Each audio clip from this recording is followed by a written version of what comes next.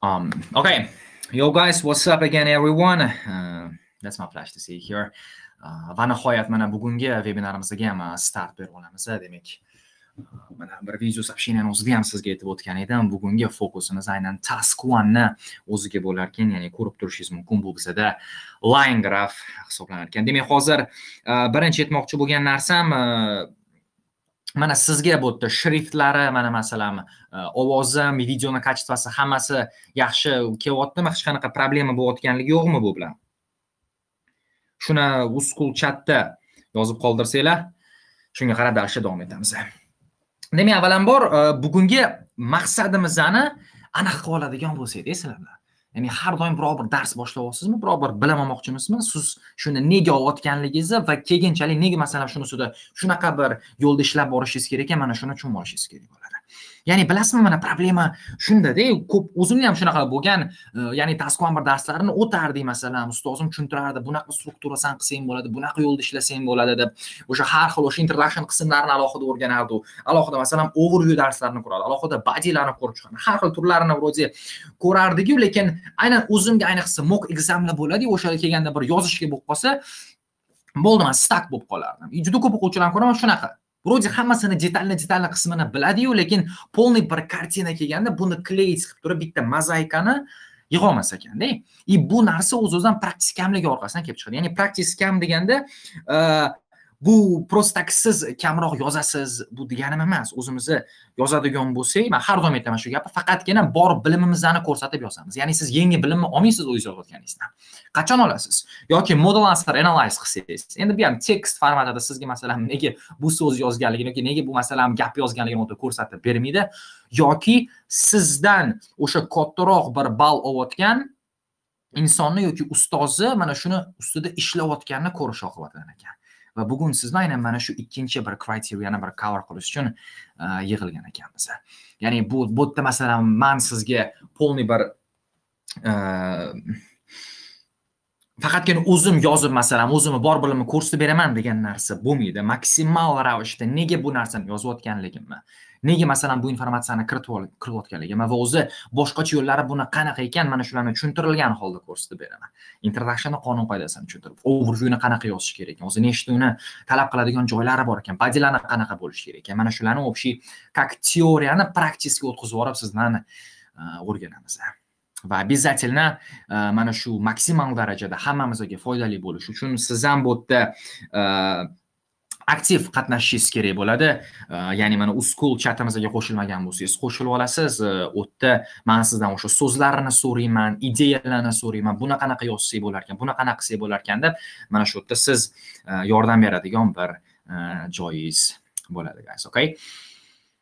Then uh, let's get started. So bizga berilgan narsani analiz qilishdan srazu boshlaymiz. Ya'ni Э, bu bizada mana trend grafimiz yoki oddiy qilib aytganda juda ko'pchiligimiz o'sha oson deb biladigan line grafimiz eh, bo'lar ekan avvalambor mana sizga aytaman o'sha task one o'zida mana shunaqa line graflar keladiyu.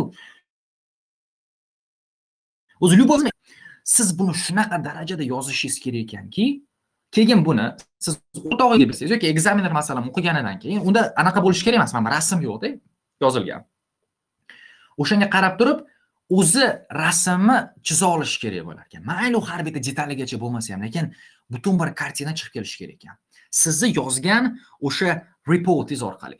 Mana shu narsa maqsad esingizdan chiqmasa bu narsa sodir bo'lmasa ya'ni Kashamalashev bu siz yozgan narsangiz bo'yicha chizolmasa bilib qo'yingki siz berilgan narsani yaxshi yoritib berolmagan ekansiz. Okay va обязательно mana shu hozir yozib o'tadigan bir grafimiz keyin examiner tomonidan tekshirtiriladi. Ularga o'sha summasi to'lanadi ekzamen to'qqiz olgan odam va o'zingiz guvohi bo'lasiz nechaga tortishini mana shu birgalik yozib o'tadigan reportimizda uh, so guys uh, demak cho'zib o'tirmasdan сразу boshlab olamiz. Hop mana shu vebinar uh, orasida ikki uch daqiqaga mazgina sal chalib qolishim mumkin bo'ladi. Oldindan uzr so'rab qo'yaman chunki boshqa guruhlar ham o'zi bir mok bo'layotgan edi shu joylarda. Sal uzilish bo'lib qolishi mumkin okay demak uh, let's go. Mana bizga train graph berildi birinchi o'rinda uh, mana siz bilasizmi graf o'ziga ham planning qilib olishingiz kerak bo'lar ekanda mana o'zi ko'plar tastovga ham planning qilmaydiyu tasvonga planning qilish kerak desam hayron qolishadi plan qilar ekanmida обязательно qilishingiz kerak. Plan har doim sizda bo'lishingiz. Bu bo'lishi kerak bo'ladi. Chunki orasida biz voy hozir nima yozsam ekan nima informatsiyani qilsam ekan deb overviewingizda ham keyin bodyingizda ham bunaqasidan to'xtab qolmaysiz. Demak planningga e, e, qanaqa qilar ekanmiz planningni o'zi siz ikkita narsani qilasiz. Ya'ni birinchi o'rinda overviewga o'zi qanaqa informatsiyani qo'shishamiz va keyin esa bu bizada body structure bo'lib o'tadi ya'ni body onega siz nimani yozasiz bu yerda oddiy qilib aytganda yoki va body twozga nimani yozar ekansiz mana shu narsa haqida siz informatsiyani berib o'tishingiz kerak bo'ladi that's it. Uh, demak overviewdan boshlaymiz o'zi uh, mana overview nima degani ekan overview bilasizmi bu big picture bizada hisoblanadi ya'ni oddiy qilib aytganda sizga bir o'zingizdan bir savol so'rang overviewni yozishdan oldin mani hozir qanaqa qilib mana shu grafni o'n soniya yoki undan kamligida butun bir maqsadini yetkazib bersam bo'lar ekan. Mana shu bitta savolni so'rashingiz sizga o'sha umumiy bir trendlarni nima deydi ko'rsatib berishingizda juda bir e, qo'l keladi. Mana masalan misol uchun endi bu yerda e, chizadigan narsasi ham yo'q ekanu. E, ho'p. Do we have it here? Okay, anyways. Um, demak, ya'ni bu shunaqa narsa bo'lishi o'shani maqsadini ko'rsatish kerak ekan. Tushunasiz? Ya'ni maqsad deganda e, bu masalan mana graf o'ziga qaragansiz aytaylik e, e, mana ko'k liniyamizga qarang. Ko'k liniyamiz boshida o'sha 50 turgan ekan, keyin 60 ga chiqqan, keyin masalan 60 sal o'sgan, bizga umuman muhim emas. Bizga muhim nima ekan то что mana shu uk o'zida o'sha spendingimiz ya'ni ketkazilgan pul примерно ellik mingdan sakson mingga eng balandiga chiqqan ekan. Bo'ldi. Maqsadi shu. Maqsadi o'sganligini ko'rsatish. Mana masalan sarig'i turgan ekan. Sarig'i maqsadi nima? Bu yerda mayli tushgan ekan keyin oxirida ko'tarilgan. Maqsadi buni ko'rsatish emas то что baribir shuncha bir fluctuationga qaramasdan bitta joyda qotib qolgan ekan. Ya'ni yashilni bu yerda ko'rsatilgani maqsadi nima o'sganligini ko'rsatish. Оранжевыйni ham o'sganligini ko'rsatish oxirida ozgina tushishiga qaramasdan. Mana shuni aytsa уже informatsiya paydo bo'ladi bizada va mana shunga o'xshash narsani siz overviewsda bir yozib o'tishingiz kerak bo'ladi. Demak overviewga man sizga aytaman o'zi man bir yozib keta qolaman o'ziga keyinchalik kerak bo'lishi uchun. Uchta narsa talab qilinar ekan o'zi okey mana overview deb qo'yaman. Uchta narsa sizga kerak bo'ladi har ya'ni yozishingiz mumkin bo'lgan informatsiya demoqchiman birinchisi bu trend ya'ni общий olganda sizga berilgan grafimizni increase qilgan masalan decrease qilganmi yoki fluctuate qilgan mana shu informatsiyani siz yozib o'tishingiz mumkin. Manimcha o'zi trend graf kelganda har doim bu narsani aytib o'tsangiz bo'ladi va overviewga berishimiz kerak mumkin bo'lgan informatsiyamiz shu. Ya'ni birinchisi bizada bo'lib o'tadi. То что uchta nationimizda ya'ni uchta nationimizda bizada nima bo'layotgan ekan mana masalan ukimiz o'sgan ekan to'g'rimi yana qaysi biri o'sgani оранжевый narsa masalan germany deb qo'yaman plus nima ekan yashil nima ekan bu hop fransiya ekan nima bo'lgan bular rose deb qo'yaman. Bo'ldi va overviewni ikkinchi gapida esa masalan hover bilan boshlaymizmi o'zi qotib qolgan qaysi biri qotib qolgan ekan? Bu spain nimasi masalan spain qotib qolgani biz level off deymiz okay? Level off bo'ldi shu informatsiyani berib o'tdi that's it. Bu birinchi berishimiz mumkin bo'lgan informatsiya. Overviewda siz keyingi informatsiyani bersangiz bo'ladi. Bu highest and lowest bo'lar ekan. Bu juda yam ko'p grafga to'g'ri keladi lekin e, afsuski bu grafimizda bu narsa manimcha apply qilmayapti chunki hech qaysi bir laynimizda полный period davomida baland yoki полный period davomida past bo'lmagan ya'ni ajralib turmagan demoqchiman. Shuning uchun bu informatsiyamizni yozmaymiz va e, oxirgi informatsiyamiz bo'lar ekan. Bu e, просто different Mm. different uh, graph deb qo'ya qolaman mayli oddiygina qilib qilganda ajralib turadigan narsada ajralib turdi degani masalan ko'rsangiz hammasi bu yerda o'sgan o'sgan bir maromda ko'plar o'sgan ekanda va bizada bu yerda bitta liniya qo'shilyaptida u bitta liniya qo'shilganda полный nima deydi mana bunaqasiga o'ynab fluctuate qilib kashamalashib bo'lib ketgan va shunaqa holat berilsa mana shunisiga mention qilib ketsangiz bo'ladi ha bu alohida boshqalardan ajralib turganingda degan bir ma'noda okay guys? Uh, so yes. Mm. so basically i hope yozishga o'tirar ekanmiz hop bitta baziyalarimiz bo'laveradigan bo'lsak uh, qanaqa bo'lishimiz mumkin? Oddiygina approach biza by country bo'lib bo'lishimiz mumkin. Ya'ni budget onega ikkita davlat haqida yozamiz o'rtasidan bo'lib budget uyimizga ham ikkita davlat haqida yozamiz. Mana shu eng oson usuli bo'ladi uh, mm, hop qaysi birini qilsak bo'lar ekan? Manimcha graf o'zida ham qarang e, manga bir narsa yoqdi. Mana bu ko'kimiz bilan yashilimiz bir ming to'qqiz yuz to'qson ikkinchi yilda oxirida birga to'qnashib bo'lgan ekanda boshida orasida mana bu farq katta bo'lishiga qaramasdan. Keling mana shuni ikkalasini birga yozaylik. Ikkalasi ham o'sgan manimcha bir biriga mos kelyapti. Ya'ni uk plus nima ekan bu? E, Fransiyamiz bo'lar ekan va budjet uyimizga esa o'z o'zidan qolgan bir ikkita davlat haqida ya'ni e, spain plus nima ekan? Germany haqida biz yozib o'tamiz. So that's it. Endi esa bemalol qo'rqmasdan uh, biza hmm, introductionimizga ham o'tirsak bo'lar ekan nima introduction boshlayman manda the debdi. Man keling mana bunaqa narsa bilan boshlay hmm, ho'p uh, hop nimada bilan boshlasak bo'ladi? Uh, mana bunaqa bir zo'r so'z bor. Glance ya'ni tashlangan nazar creative bo'lamiz masalan at the nima ekan bu? Graph to'g'ri masalan aytsak chart deyman buni masalan aytsak chart e, berilgan deydigan bo'lsam provide yoki o'rniga masalan supply desam bo'ladi va keling reveals degan so'z ishlating yana zo'r so'zimiz bor e, chatga yozib yuboringlar reveals deb bo'ladi yoki o'rniga даже revealsdan ham illuminates illuminates to'g'ri masalan illuminates. Nima ekan bu yerda e, illuminates what? Pul haqida o'sha gapirib ketyapti ho'p mana dalish boshladi. Va nima deb o'ylaysiz? Man shunaqa yo'lda hozir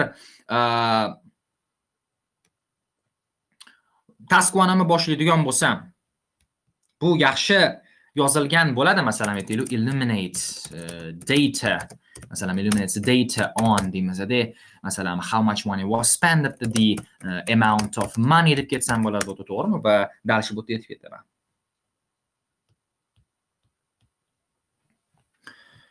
مثلا the amount of money اتش ممكن مثلا which uh, was نمي بود spend the, مثلا which was spend o'rniga which was مثلا directed siz bo'ladi ya'ni qaratilgan which was مثلا directed towards uh, uh, infrastructure in tourism desak bo'ladi to'g'ri masalan in tourism va aytib the in four different uh, European countries The hop masalam prostak in uh, various countries masalan in various European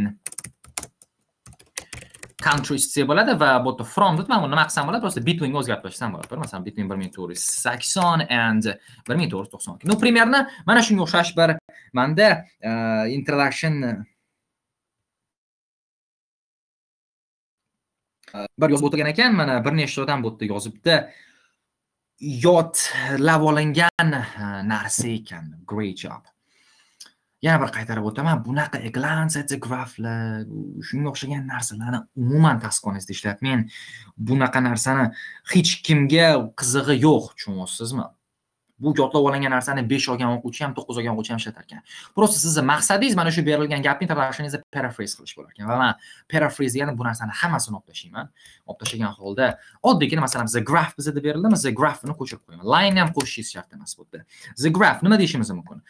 The graph shows degan ekan man shows degan so'zni shundoq ko'chirib qo'yaman. Illuminates illuminates hech kim kerak emas. Oddiygina the amount of money deb ishlatamiz va which so'zini ishlatilmaydiku degan narsani kimdir yozibdi bilmayman bu informatsiya qayoqdan kelgan kim aytgan sizga. Mm. But that's it, masalan, the amount of money which was directed towards infrastructure and tourism in various European countries between 1980 and 1992. Mana hozir basically ko'rgan bo'lsangiz, bizda bir sinonim orqasidan, ya'ni har bitta o'sha so'zimizni o'zgartirish orqasidan hozir bir paraphrase qilib o'tdi. Bu yomon emas. Mana shu introductionimizdan o'zi normal holatda yozilgan, lekin siz baribir o'sha 7 va undan baland olaman desangiz, siz nafaqat so'zlaringizni, balki strukturangizni ham o'zgartirishingiz kerak bo'lar ekan.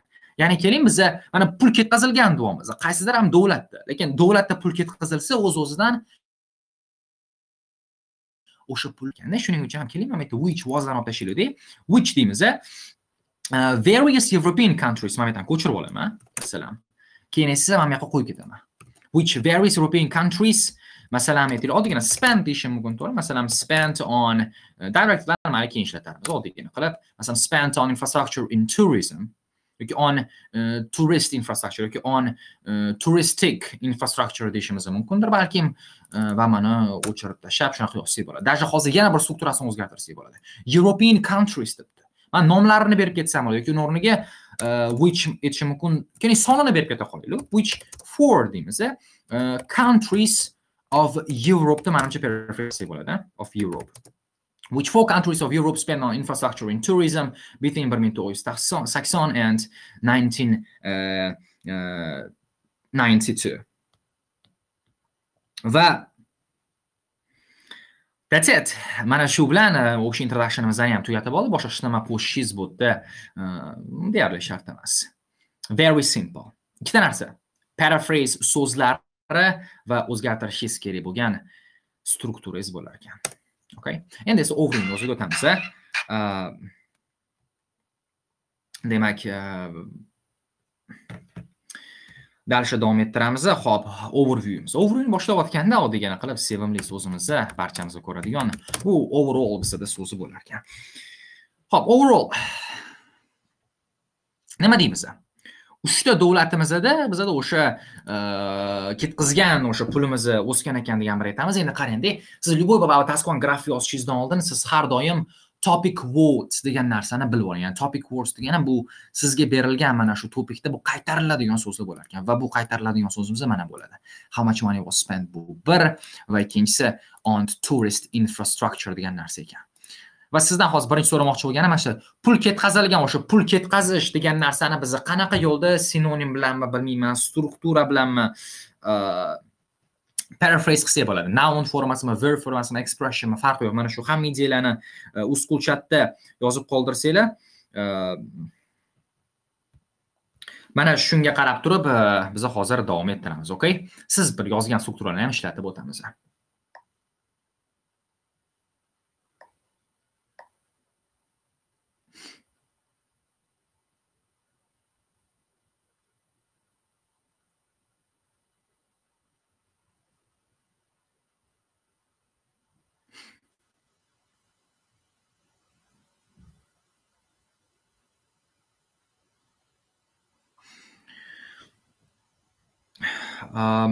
Demak ko'rib o'tyapman expenditure degan so'zimiz ekan expanse emas expenses so'zini ishlatsak bo'ladi. Allocate pul ajratmoq. Great job. E, nima ekan yana splash out so'zi to'g'ri kelmaydi. Ну okay allocate allocatelarni ishlatsak bo'ladi. Ho'p keling mana shu narsani ham bir mana pastda yozib o'ta qolaylik ya'ni how much money was spent o'rniga qanaqa so'zlarni yozsak bo'lar ekan masalan how much e, money was spent. Mana shu ham bir e, graf davomida ishlatib boramiz endi realniy ekzamenda bu ishni qilmaysizu ups ну baribir okay anyways bu narsa keyinchalik sizga juda bir katta yordam beradi ho'p aytishimiz mumkin introduction aytgan variantimiz masalan to'g'rimi the amount of masalan money nima ekan bizada spent on deyishingiz mumkin masalan spent on o'rniga nima deymiz directed towards ya'ni mana shunga pul ajratilgan degan ma'noda yoki o'rniga masalan allocated allocated allocated towards degan bir so'z allocated uh, masalan on degan bir o'sha eh, so'zlarni ishlatsangiz ham eh, sizda bo'lar ekan eh, yoki masalan bir buni noun formasiga o'zgartiradigan bo'lsa endi hop bu yerda spent debdi, verb formasi. mana buni nima desam bo'ladi? Spending desam bo'ladi, to'g'rimi? Fikrlaymiz. Xo'p, spending sinonimini juda ko'pingiz bilasiz. Buni masalan expenditure desak bo'ladi. Pul ketkazish. Xo'p, expenditure, spending, hmm, balkim buni o'rniga nima desak manimcha Turizmga nima qilamiz? Ba'zi ba'zi investitsiya kiritamiz. Shuning uchun ham investment yoki даже investment to'g'ri e, bir sinonim bor yana funding. Mana shunga o'xshash bir so'zlarni biz e, bemalol grafimiz davomida ishlatib ketsak bo'lar ekan. So yeah, that's it. mana tushunoladi siz tushunolasiz yetadi endi overviewni boshlaymiz uchta davlatda o'sgan deymiz hop uchta davlat to'g'ri man yana three countries desam bo'ladi. Lekin eh, tepada man countries countries so'zini aytib o'tdim. Uni o'rniga qanaqa so'z ishlatsam bo'ladi? Chatda qoldiramiz eh? n so'zi bilan boshlasam bo'ladi. What's a word for eh, what's a synonym desam bo'ladi? Mana shu so'zga countryga. three nations great job overall three nations deymiz va bu yerda man namely deb ketamanda nomlarini o'sha aytib ketaman nations deganiki siz обязательно bu yerda uk emas uni o'rniga siz nima deyishingiz kerak bo'ladi aynan buni natsionalnostdan ya'ni the british deysiz the british masalan bu yerda german the british german and uh, and masalan french deymiz and french nima ekan keling spendingini o'stirdi deylik ya'ni spendingini o'stirdi degani bu masalan raised e, masalan raised there masalan aytishimiz mumkin. Bu masalan tourist infrastructure on tourist infrastructure yozib qo'yamiz. Touristik deb qo'ysak bo'ladi. Как adjective qilib sal stil qo'shish uchun infrastructuregacha qoldi bu. Men infrastructure bilmadim qanaqa yo'l o'zgartirish mumkin manimcha buni sinonimi ham bo'lmasa kerak.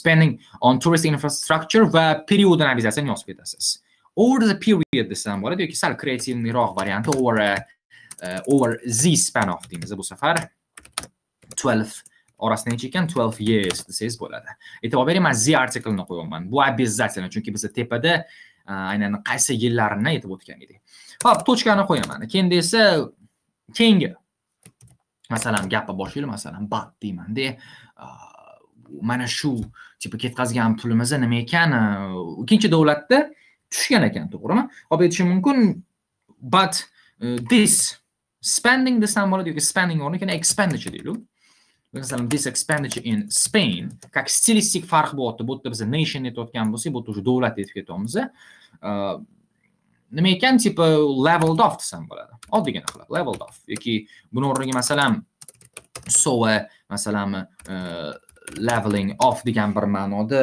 bunaqa variantini ham yozib ketsam bo'ladi. Endi sal yana chuqurroq kirmoqchiman o'rtasida nima nima bo'lgan ekan tushib chiqqan ekan keling shunga e, despite some fluctuations deb qo'yaylik. Fluctuations degan ma'no aytib o'tdingiz that's it. Mana overviewsga shuni o'zi yetadi. Va e, hozir manimcha ko'p o'quvchilar mana qaytaradigan xatoni ham ataylabdan mana hozir yozib o'tdim. Men chatda ko'raychi kimdir e, yozgan ekanmi mana mister abdulaziz yozgan ekanlar great job. But however yozing batni o'rniga deb xuddi shunaqa. But bilan siz yangi gap boshlamaysiz bu juda yam informal. However desak ham bo'ladi. Yoki however o'rniga oddiy yana masalan while deb ketib o'ta yerda complex gap yaratib ketsak ham bo'ladi va bu normal holatda berilgan hammasi o'sha ma'nosi bizada tushunib bir tushunarli bo'lyapti. Endi esa body one'imizga o'tamiz. Ho'p body one'da uh, man uk dan fransiya haqida yozmoqchiman va sizdan hozir so'ramoqchi bo'lgan savolim man hozir qanaqa bir so'z bilan boshlasam bo'ladi body one'imni o'sha uchta to'rtta so'zga qarab turib ekzaminlar tushunadi. A bo'ldi bu faqat body one'da uk bilan fransiya haqida yozmoqchi deb. qanaqa so'z ishlatamiz?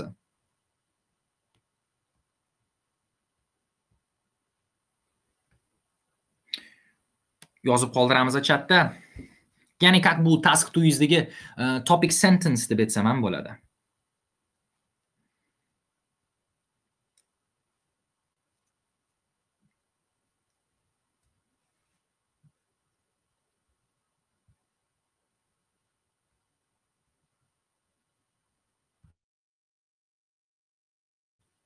Two of them. Nima degani endi bu two of them. Great job mana miss gulnoza yozyaptilar adashmasam miss gulnoza kursimizda o'qigan edingiz regarding regarding in terms of. Great job guys. Mana shu regarding in terms of larni ishlatsangiz bo'ladi keyin in terms of ishlataylik yoki dasha regarding. Regarding desangiz ham bo'ladi why not qisqa lo'nda aniq. Regarding nima ekan? The uh, uk uh, ya'ni kattasi bizada uk ekanmi? Hmm, Ho'p kattasida uk bo'lyapti. Regarding the uk and france deymiz. Bo'ldi. Mana shu beshtagina so'z bu badizda faqat shu informatsiyani yozishingizni ko'rsatib o'tadi. This is really important. Ya'ni biri o'shanda task one reportni o'zim ham bir tekshirtirish ekzaminlarga berganimda yetti chiqqan ediyu reportni o'zi lekin mana shunaqa task one topic sentence degan narsani yozsang zo'r bo'ladi degan komment qoldirgan edi mana shu shundan kelib chiqib ham siz bilan buni birga qilyapmiz ho'p bu narsani yozib o'tdik va birinchi gapimizda bu badiyda ko'pincha holatda sizga qarang mana ikkita graf beriladiyu siz buni solishtirishingiz kerak. Ya'ni biz hozir xato qilamiz masalan faqatgina uk haqida yozsak keyin solishtirmasdan turib keyin faqatgina fransiya haqida yozsak. Ya'ni solishtirish deganda birinchi gapimizdan o'zida biz mana shuni yozib o'tsak bo'ladi. Ya'ni примерно mana bunda ellik besh adashmasam mana bunda yigirma ekan to'g'rimi? Keling mana shuni yozib o'taylik keyin ikkinchi gapimizda ikkalasi ham shu o'sdi va saksonga yetib keldi deb shunaqa solishtirishlarni berib ketamiz. Ho'p regarding the UK and France, uh, UK bilan boshlaymiz. Juda UK deyman. Uh, keling periodda boshladi deylik, masalan. aytishim mumkin uh, started the period yoki masalan began uh, the period desak bo'ladi by nima qildi pul ketkazib turibdi masalan by spending hop spending manimcha ko'p so'zini ko'p ishlatdim uni o'rniga by allocating desak bo'ladi masalan by allocating pul ajratib qancha pul ajratgan ekan uh, hop ellik besh 55 masalan eh, million mm,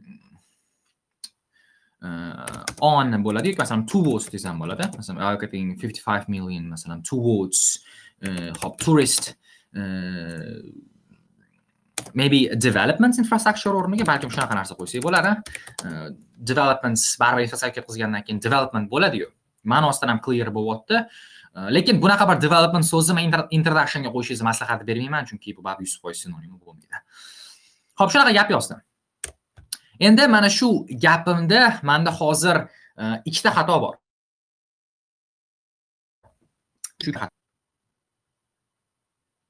Kimdir o'sha ikkalasini ham topsa juda bir qoyil qolgan bo'lardim.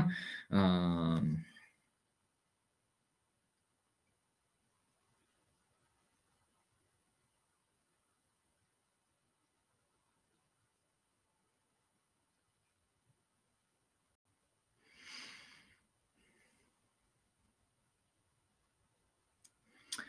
Hop. Eh,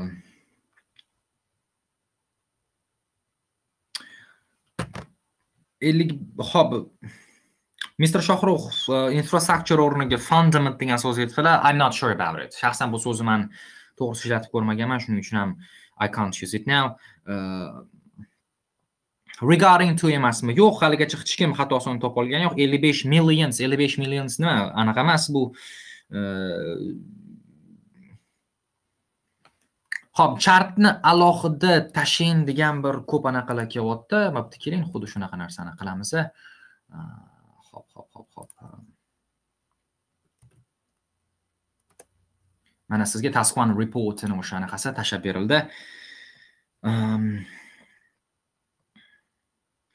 Mana Miss Malika aytdilar, nihoyat va nihoyat va nihoyat the UK began the period by allocating around. Great job. Around o'rniga bu yerda approximately degan so'zni ishlatishingiz kerak. Ya'ni esingizda qolsin, hech qachon mana shu grafni o'zida e, sahna qilib o'sha sonni berib qo'ymagan bo'lsa, siz 55 million deb yozib ketmang. atrofida deb aytib o'tishingiz kerak bo'ladi. This is really important. Uchta A esingizda qolsin qoidasi. Around, approximately, about. Degan so'zlarimiz. Va 55 million e'tibor bering mana shuni ham manimcha hech kim bu yerda yozmabdi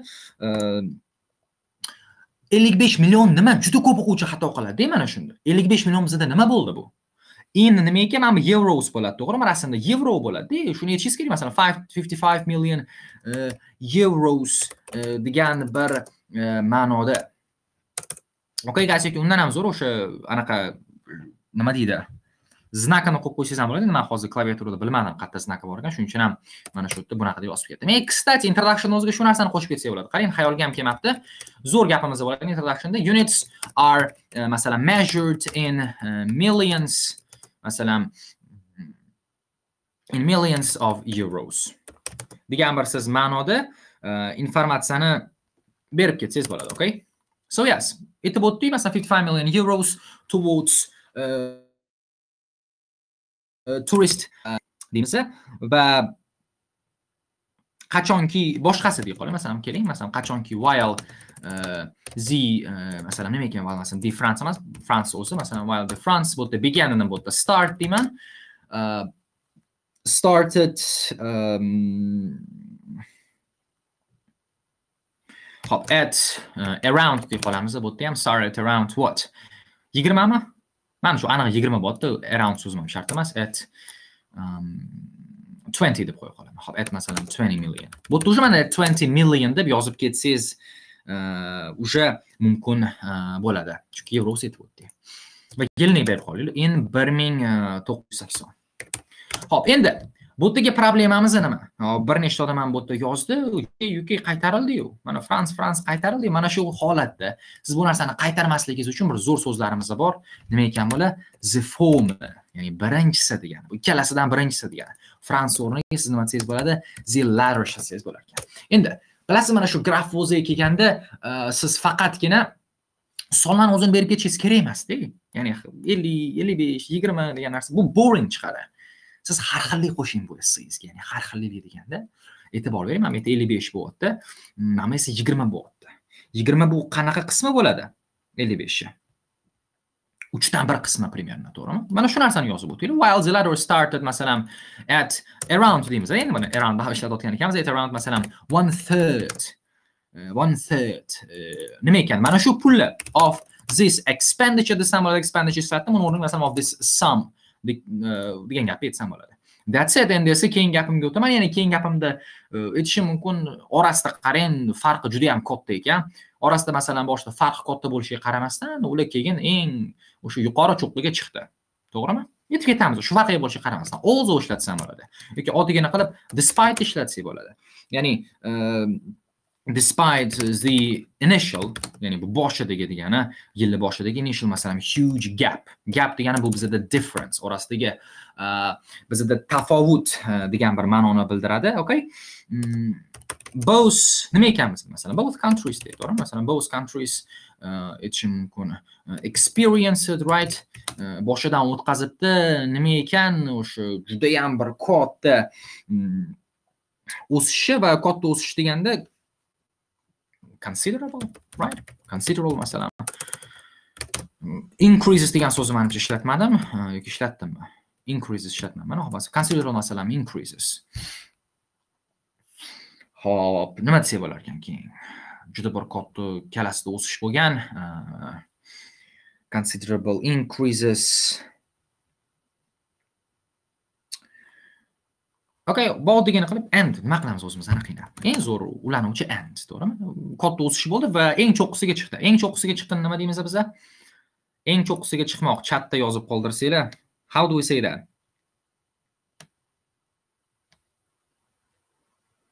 Pick. Great job.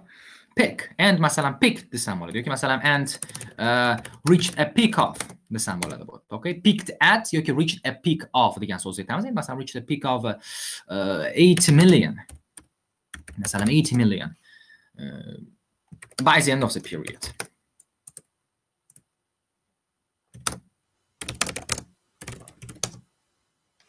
Primeiro jogo na سیز esses bolada. Vou botar tava bem, mas vai diga naquela, mas vai diga naquela que ele mamota خط سوزونو خوش بیاد. خاله یعنی پاس پرفکت. خاله بسال. خاله خاله بولش چون. E'tibor bering mana shu sakson millionimizni bu graf davomida bir eng katta ko'rsatkich hisoblanar ekanda ya'ni mana shu narsani man hozir ko'rsatib ketmoqchiman ya'ni просто eng cho'qqisiga emas butun bir graf davomida cho'qqisiga chiqdida. Siz buni nima desangiz bo'ladi? Oddiygina qilib aytsangiz this was masalan the uh, aytishingiz mumkin masalan highest uh, figure in the graph. Bu oddiygina gapimiz bo'ldi. Lekin juda bir simple uh, gap bo'lib qoldi. Siz buni o'rniga man masalan this olib tashlaysizda which was the desangiz bo'ladi which was the highest figure in the graph yoki даже hattoki bularni ikkalasini olib tashlab ketasiz despite the initial huge gap both countries had experienced considerable increases and reached a peak of 80 million by the end of the period the highest figures yoki the highest masalan figures deb aytsak ham bo'ladi the highest figures in the graph manimcha badimonimiz yomon bo'lmadi va bemalol hozir budjet uyimizga ham biz o'taveramiz va budjet uyimizda biz spaindan germanyni уже yozar ekanmiz avvalambor nimani yozar ekanmiz shuni aniq qilaylik ho'p germanydan boshlasak bo'ladi то что bu nega man hozir germanydan boshlamoqchiman chunki germany ham o'sgan ekanda ya'ni buni как body one davomi sifatida yozib ketsak bo'ladi va uh, keyin o'sha spainga o'tganimizdan keyin however deymiz ham yoki by contrast deymizda e bunda mm, uh, bir boshqacha bir trend bo'lgan edi deb biza uh, ulab ketsak Uh, bo'ladi guys okay? Hmm. Ho'p uh, nima desak bo'lar ekan bunda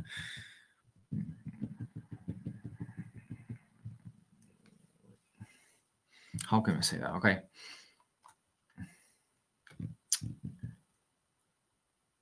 Maybe uh, bering government spending. Government spending on tourism infrastructure hop man hozir o'ylayotgan narsam bu просто z expenditure z expenditure deb har doim biza qaytarib qo'ydikda buni o'rniga nima desak bo'lardi? Просто the amount of money direct allocated spending investment.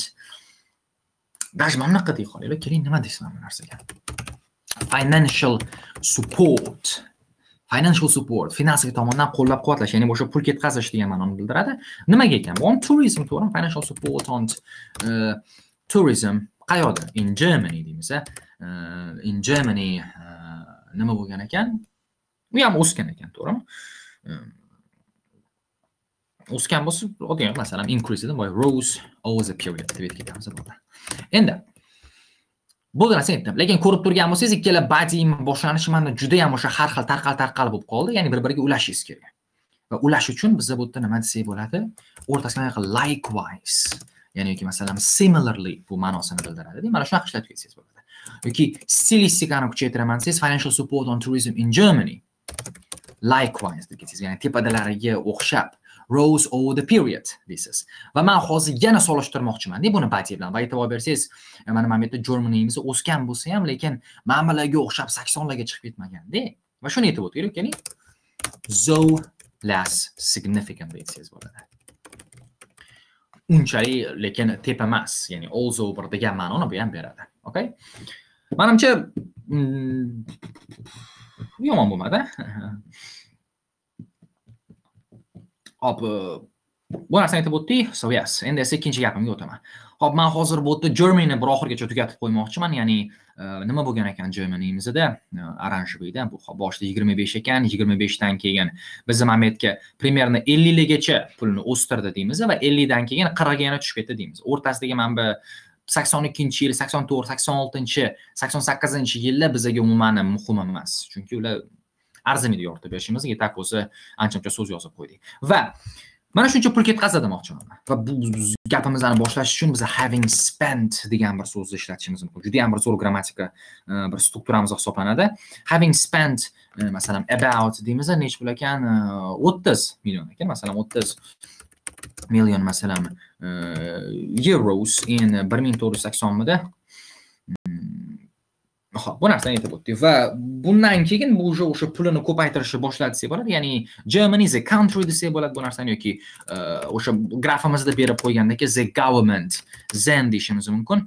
Mm, ho'p increase to'g'rimi yoki masalan? Manimcha increase Increase masalan it's uh, spending o'sha it's uh, expenditure or it's masalan spending or даже tepada mana bunaqa narsa esdan chiqdi qarang funding right? It's masalan investment masalan it's funding deymiz va eng cho'qqisiga olib chiqdi demoqchiman man buni eng cho'qqisiga nima ekan ellikga ham bu yerda ishlatishim mumkin to a high off to a high off masalan nearly почти edi bizada fifty million. fifty million qaysi yil ekan bu in bir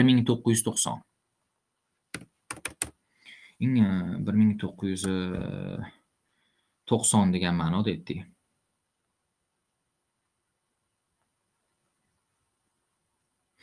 hop men yana bitta o'ylab ketmoqchiman. Gapi bat deyman bu yerda va batni keyinchalik tushirdi. Bo'ldi. Bat e, hop mana bu yerda zenni o'chirib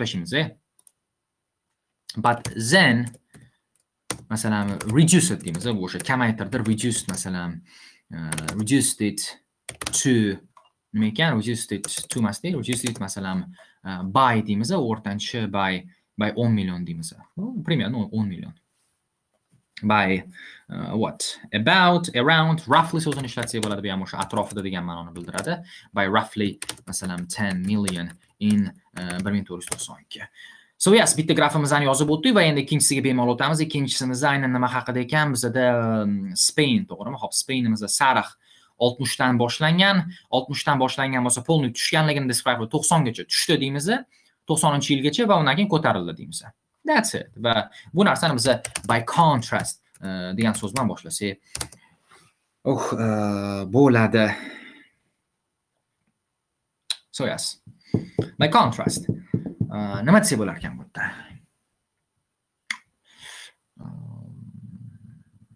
Hop paraphrase o'ylaymiz a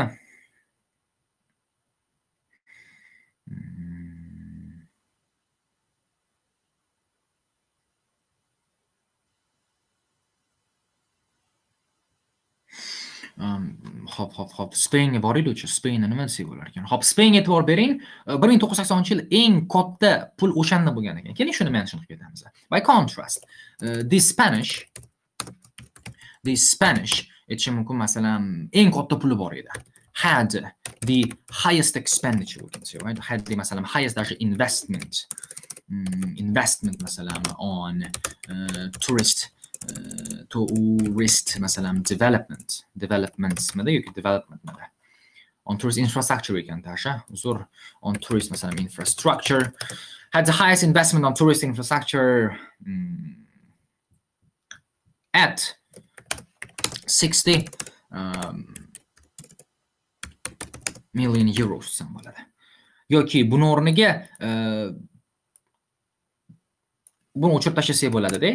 We had the highest investment of 60 million euros deyish bo'ladi. Okay mana shunaqa bir stilistika jihatdan ham paraphrase bo'ladi. On tourist infrastructure mm, hop e, in the beginning.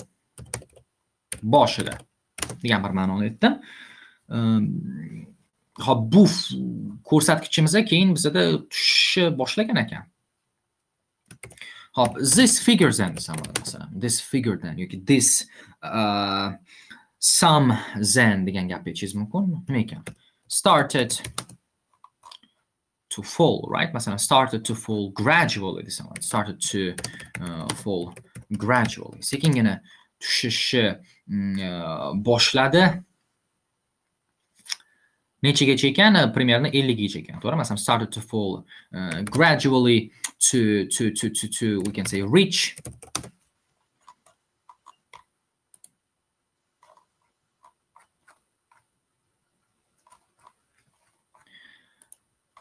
Uh, how to reach what? 50 million right? To reach masalan uh, 50 million in uh, 1490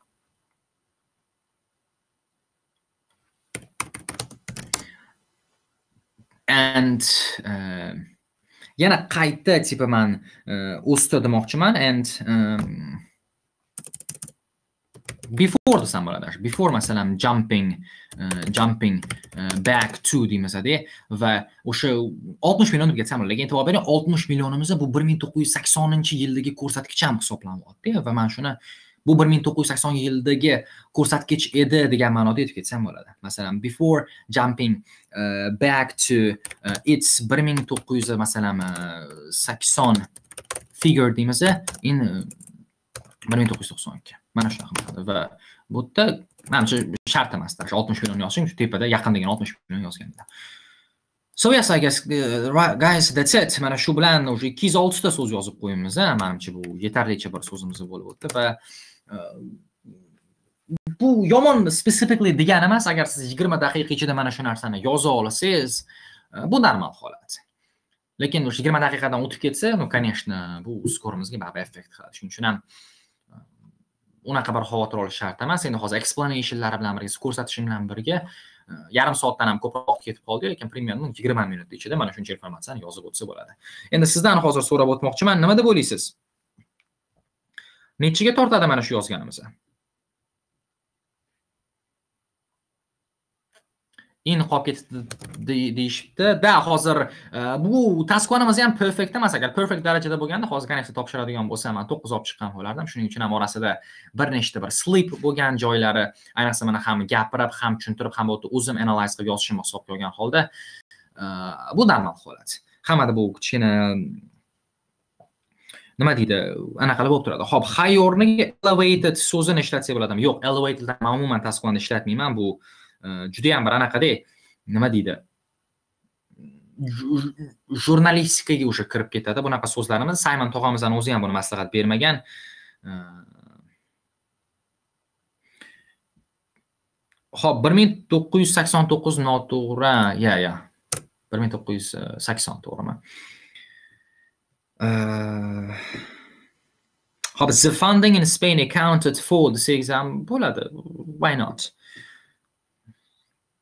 Man ham yetti plyus degan umiddaman u скорее всего yetti yarimga tortadi degan anaqadaman chunki vocabularyimiz yetarlicha bo'ldi manimcha sakkizga tortish uchun grammatikamiz ham mana despite'larini ishlatdi before ishlatdi this also by contrast but and having spent ya'ni range ham bo'ldi accuracy ham o'z e, joyida bo'lyapti hech qanaqa referencing boshqa narsalar xato qilganligimiz yo'q. Скорее всего mana shu ikkitasi bizga sakkiz olib beradigan bo'lsa task achievement coherence cohesionlar yettidan olib beradigan bo'lsa overall yetti yarim man ham kutyapman endi nasib qilsa buni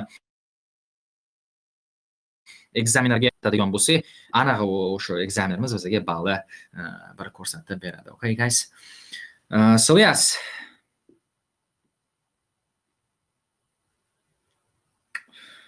That's it.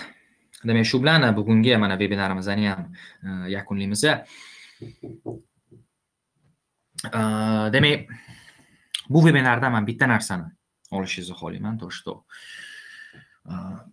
bunaqa narsalarni o'zi yozish unaqa bir qiyin emas faqatgina siz o'sha bir graf fil qila olsangiz ya'ni bu of course practice orqali va modulasi o'sha analiz qilish orqali keladi va shunga o'xshash darslarni ya'ni bolalar bilan birgalikda biz kurs davomida yozib o'tamiz. O'sha o'ttizta qirqta odamni qo'shiladigan ularni ideyasi bilan ularni vokabularisi mana hozir примерно qanaqa bo'lgan bo'lsa. Endi unda aktivni sal ko'paytiramiz. Guruh ichida mana xuddi shunaqa bo'ldi. Biz bolalar bilan praktis dars olib boramiz. Endi mana shu darajaga yetib kelishingiz uchun ham siz va o'sha ichidagi detallarni обязательно bilishingiz kerak. Alohida introductionga dars o'tamiz alohida overview alohida masalan body paragraf alohida o'sdi pasaydi e, tushdi fluctuate qildi to'rt xil masalan gap turlar ya'ni ichidagi bir melochovka strukturalari degan bir ma'noda aytyapman va mana shu guruh o'ziga hozir nabor ketyapti. Endi bu to'g'risida hozir voice chatda o'zida ham e, xudo xohlasa informatsiya olib o'tsangiz bo'ladi va ertaga demo lessonimiz bo'lib o'tar ekan общий ko'rib oldingiz bu narsani demak shu bilan siz bilan hozir xayrlashamiz va nasib qilsa. Yaqin yozgan anaqa kelgan ekan. Xudo xohlasa mana shu skor chiqsin bir kunda uzog'i chiqadi. Yuborilgan o'sha feedbacklari hamma narsasini sizga обязательно kim feedback berganligini ham ko'rib sizga hmm, tashlab yuboramiz va sog' salomat bo'linglar. O'zimizni ehtiyot qilamiz nasib qilsa yaqin orada ko'rishguncha. Umid qilamanki bugungi sizdan live rejimda yozib o'tgan reportimiz barchamiz uchun foydali bo'ldi. See ya.